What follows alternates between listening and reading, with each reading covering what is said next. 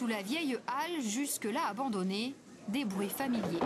Donc une grosse, on avait dit 17h, à la sortie des bureaux, les paniers se remplissent.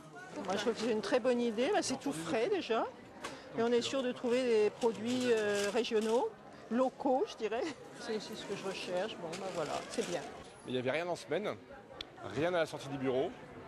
Et puis surtout, il n'y avait pas de marché de producteurs. Et nous, en tant que producteurs, euh, eh ben, on évite d'aller dans les marchés parce qu'on a, une on a affaire à une concurrence qui est un peu parfois déloyale, il faut bien l'avouer.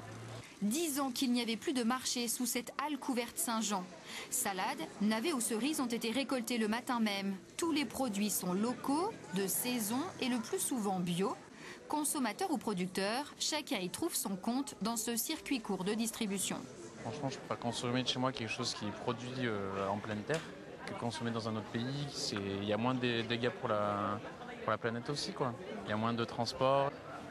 Les commerçants de la basse ville applaudissent. Ils étaient demandeurs d'animation dans ce quartier historique un peu trop calme.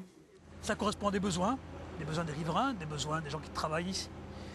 Et euh, en même temps, euh, bah, ça permettait de faire revivre ce, ce quartier, de faire revivre cet environnement. Ce marché du soir devient hebdomadaire, bien utile pour ceux qui n'aiment pas se lever au champ du coq.